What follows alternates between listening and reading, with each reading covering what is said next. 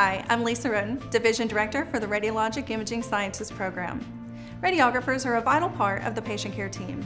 They perform imaging exams and accurately position patients and ensure that quality diagnostic exams are produced. They work closely with radiologists who interpret medical images to either diagnose or rule out disease or injury. Here at UAMS, we strive to prepare our students to become competent and compassionate radiologic healthcare providers.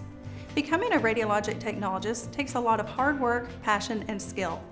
Students entering the bachelor's degree program need 35 semester credits of prerequisite coursework.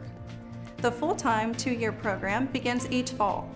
Due to the high demand of technologists, each year we accept up to 25 students in Little Rock and 15 at our Northwest campus in Fayetteville. The curriculum encourages students to think critically so they will be able to succeed in this rapidly changing technological field. Hey, I'm Zach. And I'm Andrea. We're second year students in the RIS program. To me, this program is great because the faculty truly cares about us. The coursework allows for face-to-face -face as well as online learning, and then we get to apply it to clinic. What I like most about this program is the different areas to specialize. At the end of the program, we will be eligible to sit for two national registry exams, radiography and a specialty of our choice. I agree. Having the option to choose CT, cardiac cath, MRI, or vascular intervention makes us even more marketable after we graduate. Don't forget, we also have the option of specializing in mammography. Oh yeah. To me, this program has been challenging, but one of the greatest experiences I've had, and I've also made some great friendships along the way.